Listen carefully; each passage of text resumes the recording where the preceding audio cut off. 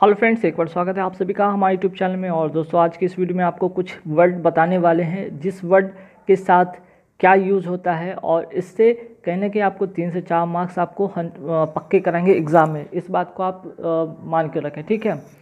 तो यहाँ पे आपको कुछ वर्ड दिख रहा होगा जो एक भर्व है, और इसके बाद यहाँ पे साफ़ तौर पे देख सकते कि लिखा हुआ use of reflexive pronoun after after the verbs ठीक? Use the reflexive pronoun after the verbs means कि जितने भी यहाँ पे आप देख रहे हैं वर्ब है, ठीक है? जितने भी वर्ब है, इसके बाद क्या करना है आपको? रिफ्लेक्सिव प्रोनाउन यूज़ करना है, ठीक?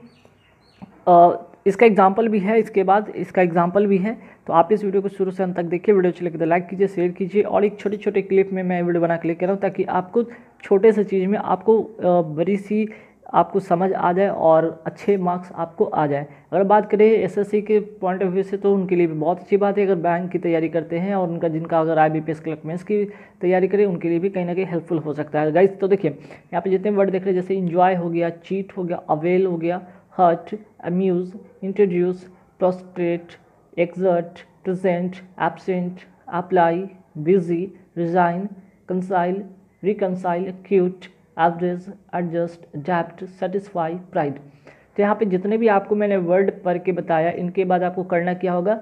आपको रिफ्लेक्सिव प्रनाउन का यूज़ करना होगा। ठीक? कुछ केस है जिसके साथ हम नहीं करेंगे, लेकिन हाँ यहाँ पे एक चीज़ को आप मान के चले कि इसके बाद जो भी होगा आपका रिफ्लेक्सिव प्रनाउन का यूज़ करेंगे। ठीक? तो यहाँ पे ध्यान रखिएगा इस बात को। इसका जो कुछ कंडीशन है दो कंडीशन है, ठीक है? दो कंडीशन इसके साथ अप्लाई होगा। जैसे कि सेंटेंस आपका एक्टिव वॉइस में होना चाहिए, ठीक? एक्टिव वॉइस में होना चाहिए। और इसके बाद कोई ऑब्जेक्ट नहीं आता हो। अगर ऑब्जेक्ट आया है, तब नहीं होगा। लेकिन अगर ऑब्जेक्ट नहीं है, तब आप इसके साथ रिफ्लेक्सिव प्रोनाउन का यूज़ कर सकते हैं। चलिए, अब आपको यहाँ पे एक एग्जांपल लेकर आपको बताते हैं। जैसे यहाँ पे देखिए कि he has reconciled to the demand of his mother in law तो देखिए रिकनसाइल्ड के बारे में हम आपको बताए थे कि रिकनसाइल्ड के बाद क्या होगा आपका? रिफ्लेक्सिव प्रनाउन होगा। तो रिकनसाइल के बाद यहाँ पे आपको करना क्या होगा? ही है यहाँ पे तो इसके लिए यहाँ पे ही के लिए यहाँ पे क्या यूज़ करना होगा? हिम सेल्फ ठीक? हिम सेल्फ का यूज़ करना होगा। तो he has reconciled himself चूँकि देखिए यहाँ पे टू द डिमांड अब इसके बाद यहाँ पे टू द डिमांड यहाँ पे कोई ऑब्जेक्ट नहीं था। ठीक? कोई ऑब्जेक्ट नहीं था। अगर ऑब्जेक्ट होता तो कहीं ना कहीं वो वर्ड का यूज़ कराता हुम का यूज़ कराता मीन्स कि क्या, किससे, ठीक है? तो यहाँ पे ऐसा कुछ भी नहीं है। तो यहाँ पे इसके लिए हम क्या करेंगे? हिमसेल्फ का यूज़ करेंगे।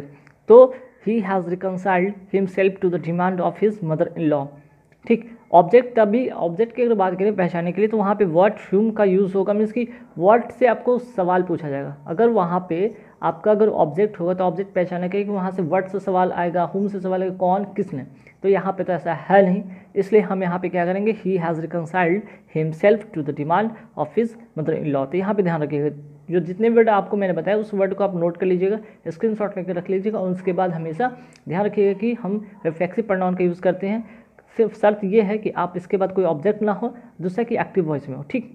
चलिए, अब आगे देखते हैं यहाँ पे an intelligent man always avails of every opportunity ठीक? तो यहाँ पे क्या होगा? तो ध्यान रखिए कि यहाँ पे हम जो यूज़ करेंगे अवेल्स के बाद, यहाँ पे देख लीजिए an intelligent man always avails अभी मैंने बताया था अवेल्स एक वर्ड है तो अवेल्स के बाद यहाँ पे क्या होगा? यहाँ पे जो होगा, इसके मैन के लिए मैन के लिए क्या हम यूज़ करते हैं? हिम सेल्फ तो यहाँ पे हिम सेल्फ का यूज़ करेंगे, ठीक?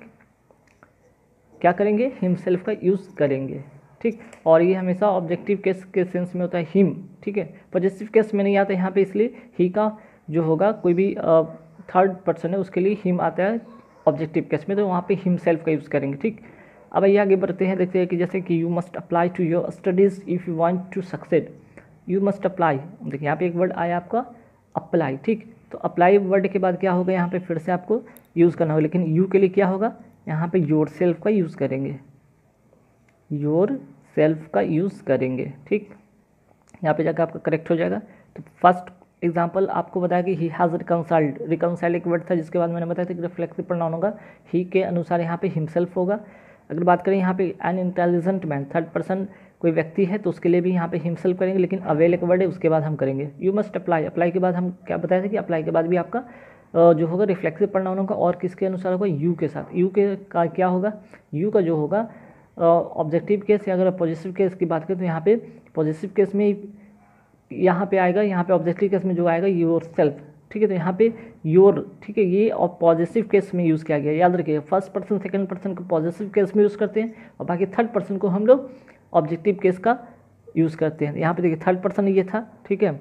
थर्ड पर्सन था तो इसलिए यहाँ पे हमने पॉजिटिव सॉरी ऑब्जेक्टिव केस का यूज़ किया है। यहाँ पे थर्ड पर्सन था, यहाँ पे ऑब्जेक्टिव केस का यूज़ किया है। लेकिन यहाँ पे सेकंड पर्सन था, इसलिए यहाँ पे पॉजिटिव केस का हमने रिफ्लेक्सिव प्रोनाउन बनाया चलिए, अब आते हैं नेक्स्ट एग्ज़ाम्पल पे। He was feeling dizzy as he enjoyed in the party the whole night long तो यहाँ पे क्या होगा? देखिए, फिर से यहाँ पे एक वर्ड आपको मैंने बताया कि रिज़ाइन ठीक? सॉरी रिज़ाइन की बात यहाँ पे इंजॉयड ठीक है इन्जॉय वाला वर्ड एक आया यहाँ पे इंजॉय तो यहाँ पे इंजॉय के बाद मैंने क्या बताया कि फिर से देखिए यहाँ पे कोई ऑब्जेक्ट नहीं है और ही के लिए कि यहाँ ही जो कि थर्ड पर्सन है, और थर्ड पर्सन का जो ऑब्जेक्टिव में होता है, जो रिफ्लेक्सिव प्रोनाउन ही का, फिर से यहाँ पे हिम सेल्फ होगा। उसी तरह योर रहे तो योर सेल्फ होगा दे रहे तो देम सेल्फ होगा इट रहे तो इट सेल्फ होगा सी रहे तो हर सेल्फ होगा, इसी तरह ही रहे तो हिम सेल्फ होगा, इस तरह से हम लोग करते हैं, ठीक।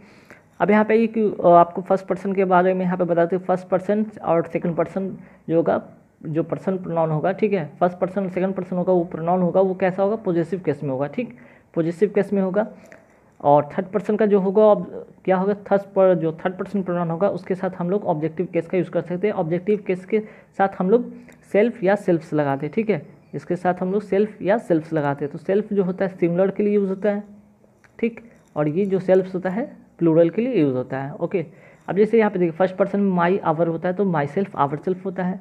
सेकंड पर्सन की बात करें योर का योर सेल्फ होता है। योर सेल्फ होता है प्लूरल में हिम का हिम का हिम सेल्फ होता है, ठीक है? हिम का हिम सेल्फ होता है हर का हर सेल्फ होता है देम का देम सेल्फ होता है। और यहाँ पे देख लीजिए इट का इट सेल्फ तो कहने का मत यहाँ पे जितना भी होगा रिफ्लेक्सिव प्रोनाउन बनेंगे, वो इसी तरह से हम लोग करेंगे first person second person third person तो थर्ड पर्सन में आप देख रहे हैं कि हिम का हिमसेल्फ हो रहा है, ठीक? तो रिफ्लेक्सिव प्रोनाउन क्या बनता है? जितना भी होंगे, ये जितने भी देख रहे हैं, यहाँ पे थर्ड पर्सन का है, ठीक है? तो इस तरह से हम लोग यूज़ करते हैं। अब भाई, यहाँ पे कुछ वर्ड ऐसे जिसके साथ हम लोग रिफ्लेक्सिव प्रोनाउन का यूज़ नहीं करते। भाई कौन कौन से जैसे क्वालिफाई हो गया स्टॉप हो गया कीप हो गया मूव हो गया टर्न हो गया हाइड हो गया बात हो गया रेस्ट हो गया। तो ऐसे कुछ वर्ड हैं जिनका हम लोग इसके बाद रिफ्लेक्सिव प्रोनाउन का यूज़ नहीं करते हैं। जैसे आप एग्जांपल देखिए कि you should keep your self तो कीप के साथ मैंने बताया कि योर सेल्फ नहीं लगाइएगा, ये अपने आप में सही है। You should keep away from the bad boys ठीक? You should keep away the keep away the away from the bad boys ठीक? तो हम नहीं यूज़ करेंगे। जैसे यहाँ पे देखिए keep you should keep answer जो होगा you should keep away from the bad boys तो किससे कीप अवे रहना है भाई? तो बैड बॉयज़ से रहना है। ठीक? तो यहाँ तक तो बात समझ में आ गया होगा। तो आप इसका ज़रूर स्क्रीनशॉट ले लीजिएगा। और जितने भी मैंने आपको पॉइंट बताया है, जो कि काफ़ी इंपॉर्टेंट है और कई बार एग्ज़ाम में डायरेक्ट इससे क्वेश्चन आते हैं आते हैं। तो एक बार मैं फिर से स्लाइड को दिखा देता हूँ कि ताकि आप उसे नोट कर लीजिएगा। और जितने भी वर्ड यहाँ पे आपके सामने हैं, उनको ज़रूर नोट कर लीजिएगा। और देखिए इसका ज़िक्र हो चुका था जैसे इन्जॉय का ज़िक्र हुआ इस वीडियो में अवेल का हुआ, ठीक। तो यहाँ पे कहीं ना कहीं अप्लाई का हुआ तो इस तरह से कुछ वर्ड का मैंने आपको एग्ज़ाम्पल लेकर बताया जिससे कि आप बेशक समझ सकें और अच्छे से बात को आप समझ कर यहाँ से आप दो से तीन मार्क्स चार मार्क्स आप आराम से ला सकते हैं। और रही बात इंग्लिश का तो इंग्लिश एक ऐसा सब्जेक्ट है जहाँ पे आपको कहीं ना कहीं आ, मुश्किल का सामना करना पड़ता है। और ये देखिए इंग्लिश एक ऐसा सब्जेक्ट है जहाँ पे अगर आप थोड़े से ग्रामर का रूल अगर आपने समझ लिए तो आराम से वहाँ से आप मैक्सिमम तो कह सकते हैं कि आप ज़्यादा ला सकते लेकिन मिनिमम आप टेन मार्क्स तो बिल्कुल आप पक्के कर सकते किसी भी एग्ज़ाम मिनिमम अगर जिसका, जो एग्ज़ाम में अगर पच्चीस या तीस क्वेश्चन का होता है इंग्लिश का, जैसे अगर बैंकिंग की बात करें तो वहाँ पे आपको थर्टी क्वेश्चन मिलते हैं। एसएससी की बात करें तो एसएससी में आपको ट्वेंटी फाइव का सेट आता है और अगर स्टेनो की बात करें तो स्टेनो में हंड्रेड का आता है तो हंड्रेड में तो काफ़ी आपको मार्क्स मिल सकते हैं। आराम से ट्वेंटी ट्वेंटी फाइव मार्क्स मिल जाएँगे। लेकिन अगर बैंकिंग की बात करें तो दो से तीन मार्क्स आपको काफ़ी है सफिशियंट है और एस की बात करें तो वहाँ से पाँच से छः मास आपको पक्के हो सकते हैं। गाइस तो वीडियो अच्छी लगे तो लाइक कीजिए शेयर कीजिए और अभी तक हमारे चैनल को सब्सक्राइब तो प्लीज़ सब्सक्राइब कीजिए।